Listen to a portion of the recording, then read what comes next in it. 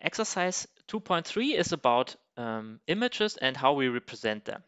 In the lecture, we learned that uh, continuous image or discrete images are always these types of mappings.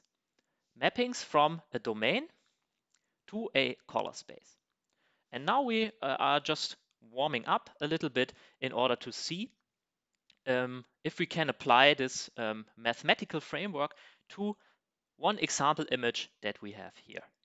So maybe I zoom in a little bit so you can see what the image properties say here.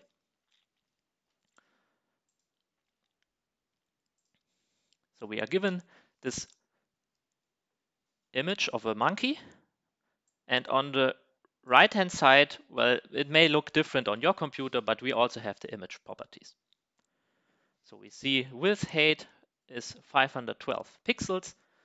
And the question now um, would be um, for you to decide whether this image is discrete or continuous and specify a suitable domain and color space.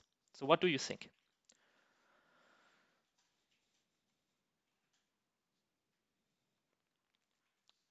So given the image mandrill,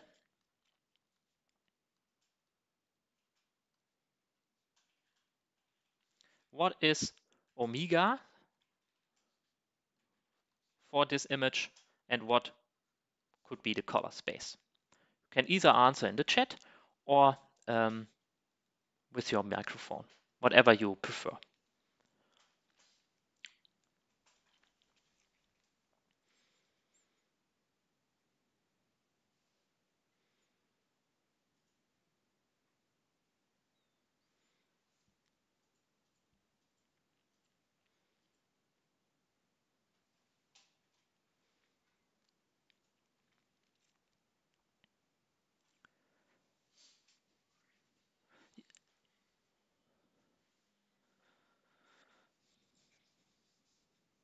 Mm -hmm.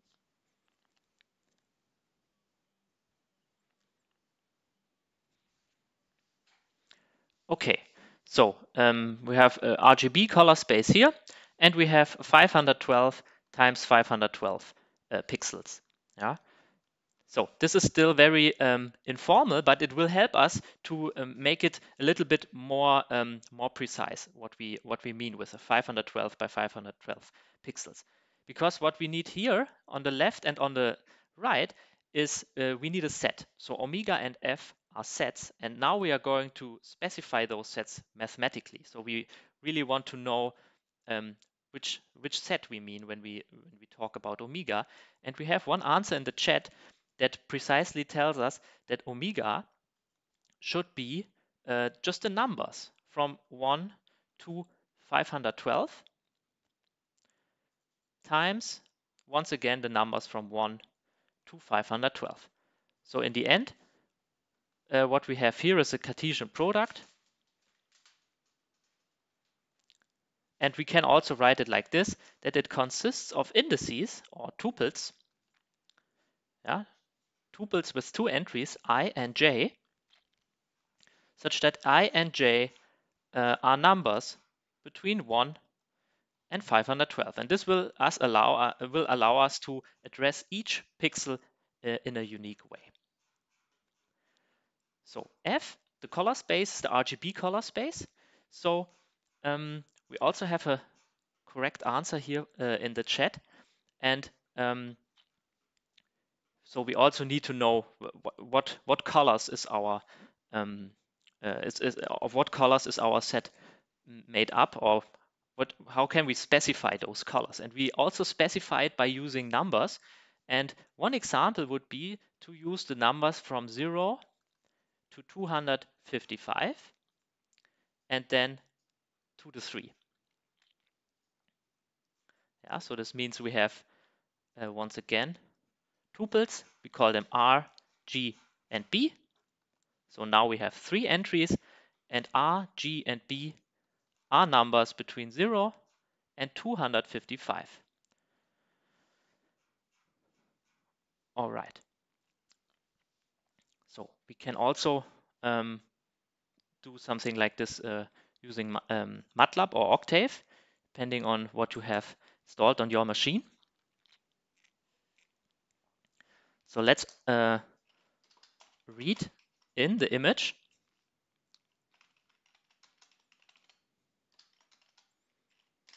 And then what we can do, for example, is we can take a look at the size of the image.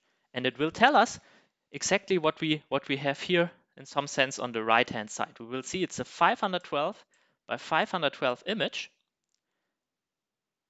And it also has a, a third dimension that is made up of three layers that can tell us something like, well, this image is made out of three colors. So we can take a look also at this image. And we see, okay, it's the monkey that we just had on our exercise sheet. So you find this image also in the homework material for this week. So, and now about the type. So we can, for example, just look at one of the image entries. Let's take, for example, a look at the first image entry and we see, okay, it's a number, 166. But how do we know, um, so what is, what is the largest number or not? So for this, for example, we can uh, use something like type info. If you use uh, the MATLAB or Octave GUI, you will also have in the variable editor the, the type of your of your variable a. And um, in our case, it says it's a uint8 matrix. So uint8 means numbers from 0 to 100 to 255. Can also say, well, this is uint8. Okay. So far for the warm-up. Let's take a look at another example. So now it's getting a little bit more abstract. We are now considering a 3 by 3 matrix. And now the question would be the same. So for this matrix, what would be a suitable um, domain and what would be a good color space? You can once again answer via microphone or via the chat.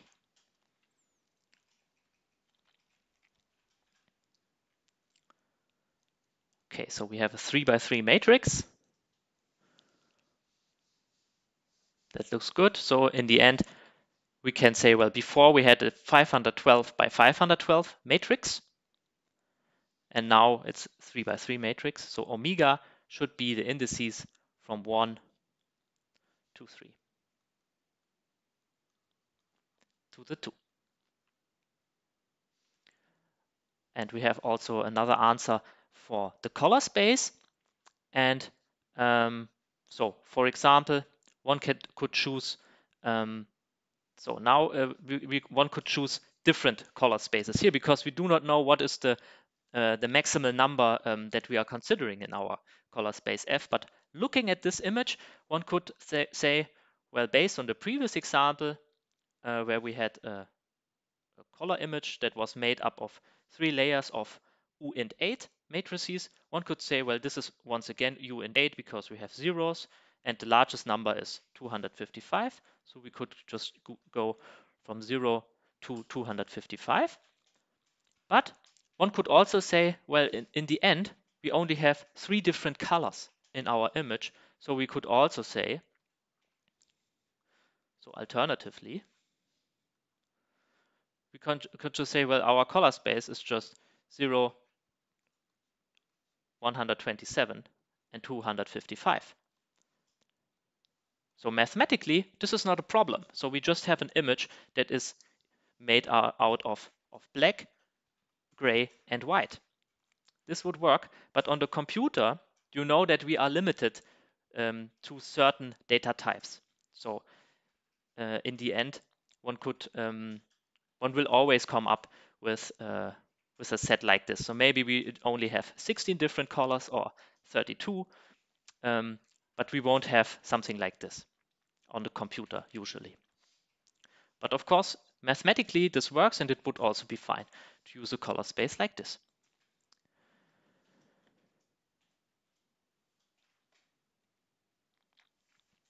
So looking at this matrix, what we can see is a very nice um, visualization of the mapping itself. Because in here, we have the image of the index tuple 1, 1. It gets mapped to this upper left corner of the matrix. The lower right corner is just the image, one could say u of 3, comma 3 is 255. So just like you would address entries of a matrix, you have here in this matrix encoded already this whole function with domain, with color space, and also with the, the mapping itself that tells you how to map elements of your domain, so tuples, to color values.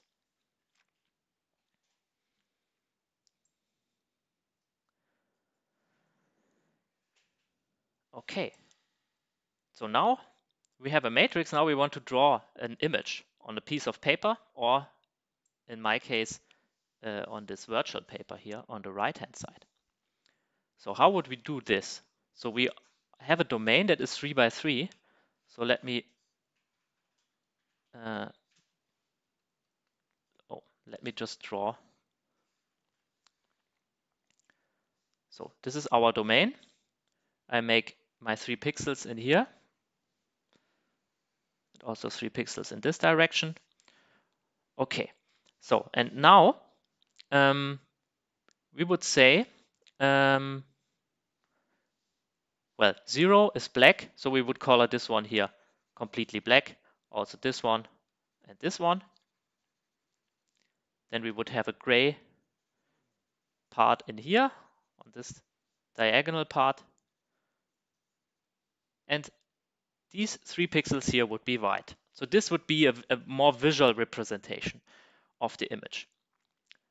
So making it clear where each pixel starts and ends. So I always, I also tried to make the boundaries of the pixels like, um, yeah, like one would imagine them if one looks at a grid. Yeah, every every pixel also has a boundary here. So I think there are no questions with respect to the visualization of this. And this is, of course, how it works for every grayscale image in this case. Yeah, you always have a matrix of values, but once you tell it to, to be interpreted as an image, well, then it gets colored like this. So now it gets um, more interesting. We now want to expand our drawing by a Cartesian XY coordinate system. So and now it's important that we remember how we address our pixels in here. In particular, if you look here at the left-hand side, this center of this pixel, yeah, if we address this as a whole, we would say uh, it has the coordinates 1, 1 in terms of omega of our indices. So if we take this pixel down here, it has the coordinates 2, comma 1. Uh, because the first index of a matrix always gives us the row of the matrix, and the second index always gives us the column. So I think this is rather trivial if we stay in the matrix world. But once we want to interpret these tuples as elements of a two-dimensional space, so they are all also in R2, and we want to add um, coordinate a coordinate system around it, we will see that it, it may look different from the usual way that we draw coordinate systems. So do you do you have an idea on what what I'm getting at? So where where should the coordinate lines of our xy coordinate system go along? How should they look like?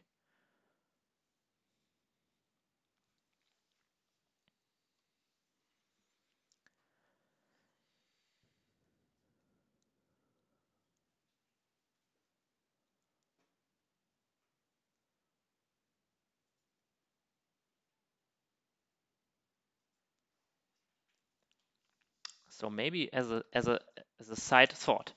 Ah, okay. So we have already uh, an answer in the chat that looks okay. So we start in the top left corner and x goes right, y goes down. And the first pixel as, well, this is, this is what we already fixed. So this convention here saying that, well, we will interpret the indices of a pixel as elements of R2, it already um, fixes all the rest of our coordinate system as stated in the chat. So normally, if we draw coordinate axis, we start at the point 0, 0. Yeah? So this is the center of our coordinate system. And now the first coordinate um, yeah, needs to get bigger once we go in the direction of the first coordinate axis. So this is our x coordinate. And also here we have 1, we have a 2 here, and this one would be 3. So the same for the y coordinate. The y coordinate also goes in this direction. So this is the second coordinate, and it's it works just the same. So this is important to remember because normally when we work with coordinate systems, they look a little bit different. So normally our xy coordinate system looks like this. So we have an x here and we have y here and then we have a function something like this. Yeah. So, but the coordinate system that we have here is actually just the same. So what you need to think about is take this normal coordinate system and rotate it by 90 degrees in this direction. And then you will get the coordinate system here that we use for images. Yeah, it's a little bit turned, but in the end, we need this turn in order to make um, the indexing of matrix entries compatible um, with our usual notion, uh, Cartesian coordinate system.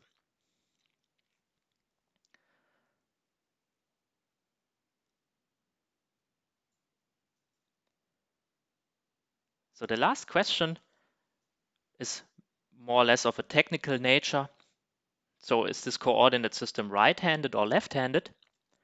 So this means um, if you have three coordinate axes and you take your right hand, can you then align uh, your your fingers with the coordinate axis? Yeah, and in this case, if we had um, if you look at at this system, it is a is a right-handed system.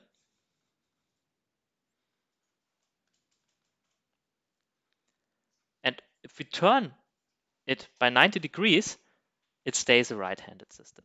So in this case, the coordinate system is right-handed. But this is just a side fact, so it, uh, we won't need this fact here.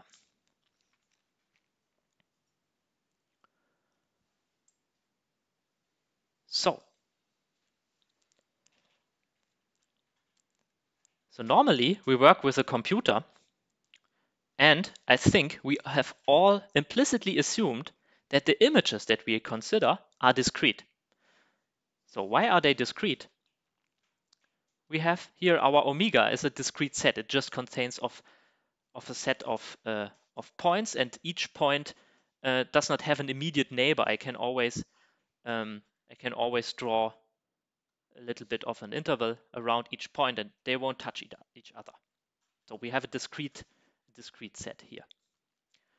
And normally the so the images we have on a computer are always discrete images because the computer only can handle discrete images. In mathematics, however, we also use continuous images. And um, so this always this already gives you the first answer to this question. So here we have an image that is continuous. And it asks you to specify a suitable domain and color space. So the answer is already given in the task here, but you can maybe just for completeness uh, also state it in the chat or answer with your microphone. So F is an image, goes from omega to F. It's continuous.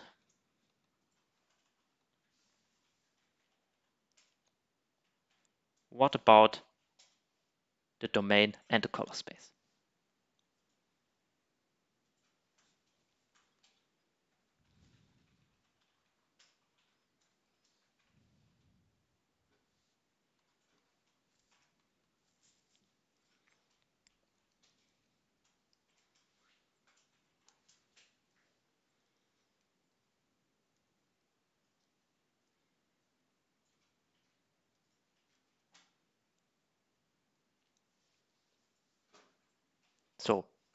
Compared to the images that we had before, we now don't have a, a set that is enumerated with numbers from 1 to 3, but we have an interval.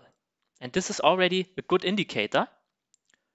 Continuous image, and now instead of sets that enumerate just the numbers, we have intervals with infinitely many elements. And as correctly stated in the chat, we have, well, two intervals, two-dimensional image. And so there are two ways to write this down at least. So this is correct. All right, so this is the left-hand part. So we can basically just read this off. The same for the color space. Yeah, it goes from 0 to 1. So, and sometimes we just want to work with images like this. Our algorithms may um, be designed for continuous images, and then it may be better to switch from a discrete image to a continuous one. And we can also do this with MATLAB or with Octave. So if we have an image here and we say see it's an uint8 matrix, yeah, if we address, so we, we looked here at the first entry, uh, so the upper left corner is 166. So now we want to rescale this image or to convert it to a, in, in some sense, continuous image. It now takes double values from 0 uh, to 1. And we can use this, uh, we can, can use the following function that is called im to double. So let's uh, call this new image B and um, see if this command did something. Okay, now it tells us just it's a matrix, but now let's look at the first, the upper left entry, and we see that 266, uh, to, uh, sorry, that 166 was converted to this double number between 0 and 1. So we have already in our computer a way to switch from um, uint matrices to double entry matrices. And of course, we also have a way to switch back. So color space F, also 0, 1, just for completeness. And I think, um, yeah, so we can also draw a corresponding graph of this function. You can either think about if you have seen such a, such a function before. It looks like a parabola. If you look at it from one coordinate axis, if you add the second coordinate axis, you have again a parabola, and then you get something like a rotational uh, paraboloid. Um, yeah, so probably um, you have seen something like this before. I've also generated a plot for you um, in order to make it more easier to understand how this graph looks like, I plotted it um, on a little bit larger domain, namely from minus 1 to 1. But actually the part that we are interested in is just the part that is in here. Yeah, so also from this paraboloid, we only use this portion that is in the in this quadrant that I marked with red. So this would be the corresponding graph of this continuous image. So, and this is the last question for all the, uh, well, the mathematicians and those who, who weigh every word that we, that we use and ask if it's proper use of this word or not, because there is also a notion of continuity for functions. Yeah. So sometimes we say a function is continuous if it does not have any bumps or jumps. It does not really work with the notion of continuous image that we use because um, what we saw here as well, the continuity depends only on how we how we choose our domain. So maybe do you have an example for a function that is not continuous but still could could work as a continuous image?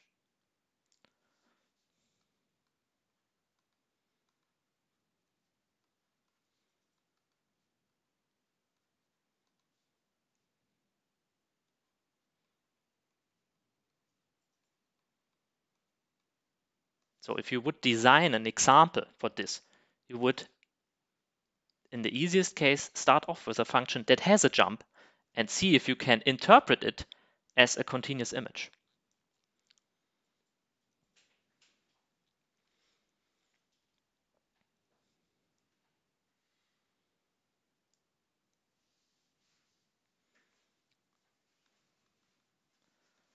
So one example that we could use would be uh, a step function. Yeah, very good. A step function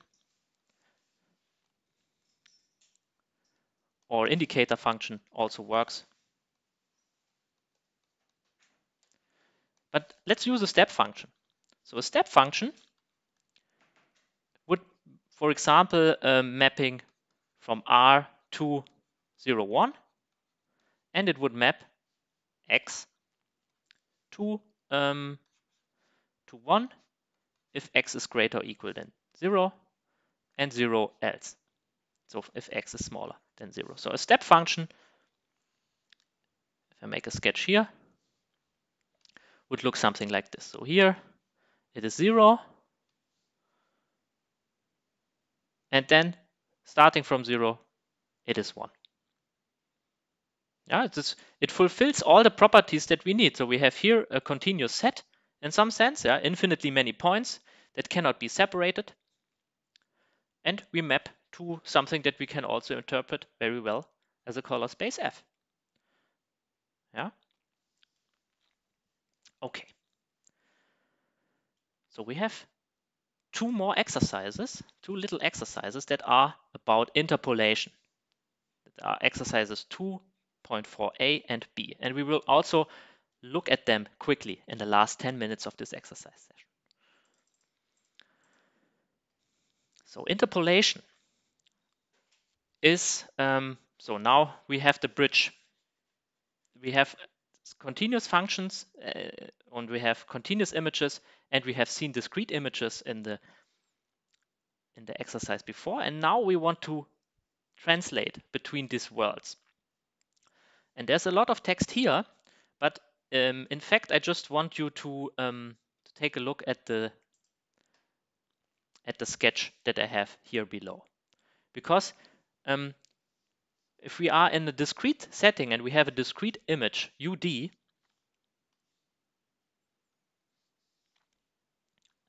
then this image is given just by some points. Yeah, if it's a one-dimensional image. Then we have our coordinates x and we have the values of the image y. So, and we see that there are a lot of points here where we don't have any information about our image. Our image is just not defined there. So interpolation is a way of extending the domain of definition to, from a discrete set, in this case, to a continuous one. And what we need, or what we want to use there, are um, uh, basis splines or basis functions that are, in some sense, very similar to the uh, example that we just discussed of a step function, or in this case as an indicator function. It is a function that just has a jump at zero and is uh, it has a, a jump at minus 0.5 is 1 here in a neighborhood of 0 and it's 0 else. So this is the function phi x. It lives at 0 and it extends to the left and it also extends to the right. So now what we want to do is we want to move the support of this function. And we call this action of motion phi to the j. So what we have here in this notation is a function phi 0 of x, meaning we have this jump or this bump at position 0. So if we now move it, then phi 1 um, uh, is centered at 1.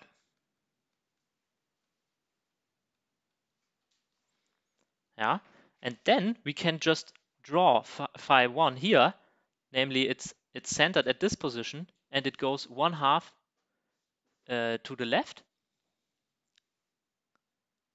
and also one half to the right here.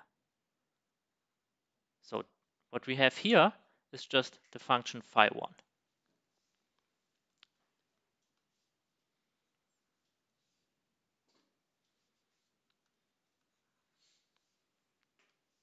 So does this make sense so far?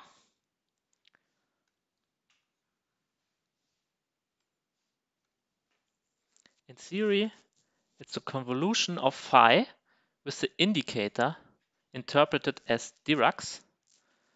Mm, I will need to think about this question, but um, so we will also see convolution later in this lecture and also in the exercises.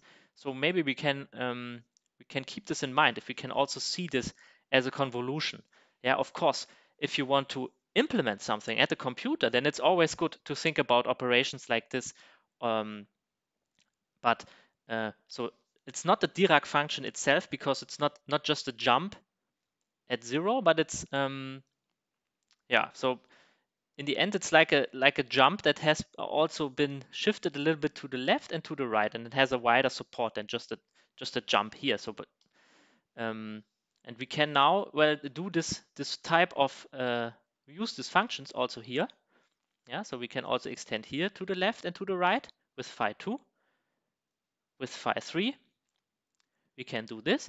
And we always need to multiply this function also by the value or the height of the jump. So here we have a jump height of 1.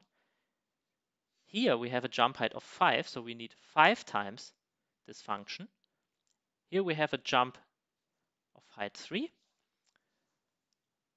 And uh, in the end, what we can now do is we can now write the continuous version as a linear combination of these basis functions. And this is what I'm going to write down now. So what we just did here mathematically was we um, say that the continuous image u of x is given as a sum from, uh, let's say, k equals 1. So we start at 1. We end at 5. Yeah. We use the spline functions phi, ah, let's maybe call them j, like in the in the exercise text. Use the spline functions phi j. And then we also need to multiply them with the height of the jump. And the height of the jump is given via the value of the discrete image at position j.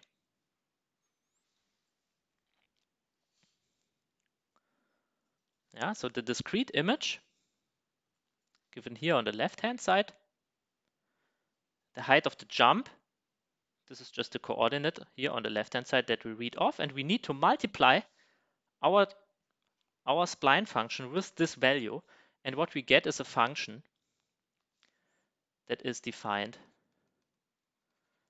basically on R. Yeah? Everything that we want. We can plug every number inside phi of x. Yeah? This works for every real number.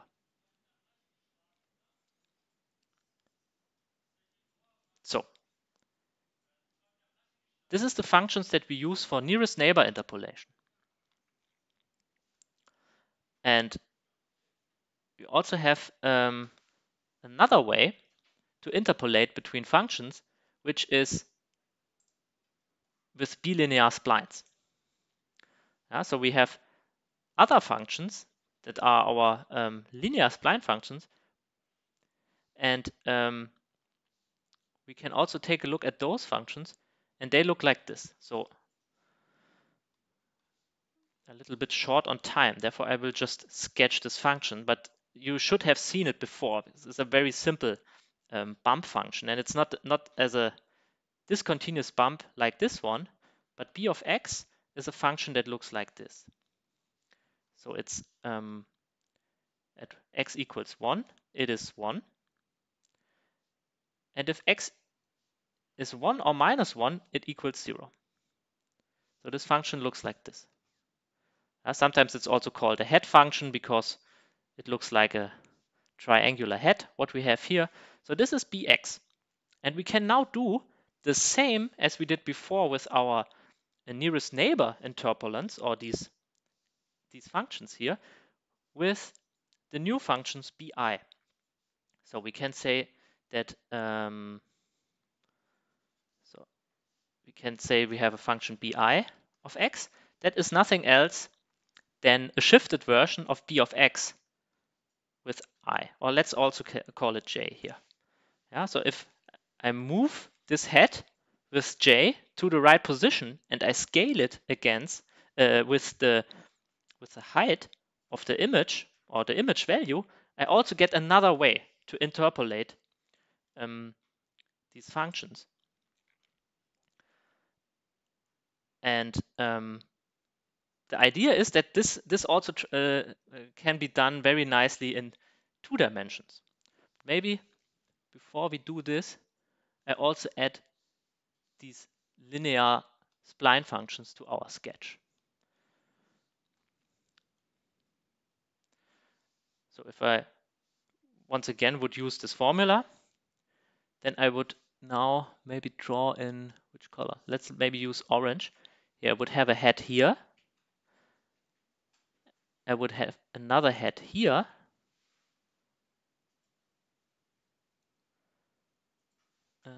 Ah, no, the hats are a little bit wider. Sorry. So this would be the first hat. This would be the second hat. And you see that now we have an overlap. So in the in the sum, we will always have something that looks like the following. So we go here without any uh, distortion. And then in this part, we have a, an overlap and it goes on like this. Yeah, so the, the principle stays the same. We use these functions and we um, yeah we just multiply them with the with the right height. So this can also be uh, very nicely done in higher dimensions, in particular in two dimensions. This is where we want to use it. So the formula stays the same. So let's, for last thing for today, take a look at this formula here. So I hope you have now a good um, impression of what this formula does. Namely, it starts out with an image that is discrete, uij, and then we use a two-dimensional basis spline. So and how does this one need to look like? So maybe I give you the formula here. It's actually part of the exercise to find this one. But um, bij of xj should nothing should be nothing else like um, uh, bi of x times bj of uh, y. So sorry, should be a y here. So it's just a product of the one-dimensional splines. And with this, we can use the same formula here.